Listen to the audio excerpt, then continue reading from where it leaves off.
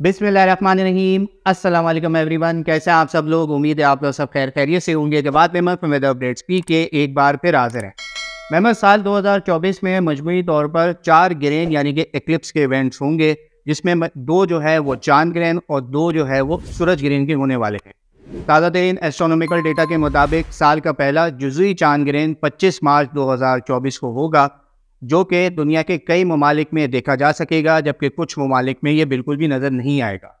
वो ममालिक जहाँ पर ये देखा जा सकेगा, वो हैं यूरोप तमाम तर अफ्रीकन ममालिक, शुमाल मशरकी Asia, Japan, Australia, New Zealand, Mexico, south और north America, Pacific Ocean Arctic और एंटार्टिक के इलाकों में ये चाँद जो है वो काफ़ी ज़्यादा हद तक देखा जा सकेगा।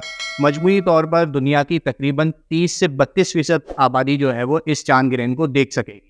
पाकिस्तानी वक्त के मुताबिक ये चाँद ग्रहण सुबह नौ बजकर तिरपन मिनट पर शुरू होगा, दोपहर बारह बजकर बारह मिनट पर ये अपनी पीक इंटेंसिटी पे होगा, जबकि दो बजकर बत्तीस मिनट दोपहर के वक्त जो है ये चाँद ग्रहण ख़त्म हो जाएगा। इसका टोटल ड्यूरेशन यानी कि टोटल दौरानिया जो है वो चार घंटे और तकरीबन अड़तीस से उनतालीस मिनट रहेगा।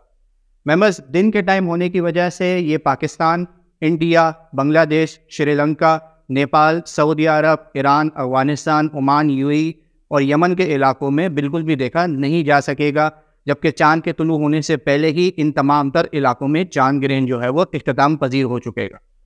साथ ही साथ साल का अगला सूरज ग्रहण, जो कि दुनिया के कई ममालिक में देखा जाएगा, और इसकी जो शिद्दत है वो काफ़ी ज़्यादा होगी। दिन के वक्त को ये रात में भी तब्दील कर सकता है। वो 8 अप्रैल 2024 को होगा।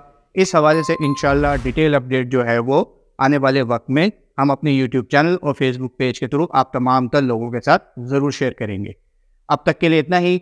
वीडियो पसंद आए तो उसे लाइक और शेयर करना ना भूलें, और इस तरह के तमाम तर लेटेस्ट वेदर और एस्ट्रोनॉमिकल अपडेट्स जानने के लिए हमारा यूट्यूब चैनल और फेसबुक पेज लाजमी सब्सक्राइब कर लें। अपना बहुत ख्याल रखिएगा। पाकिस्तान पाइंदाबाद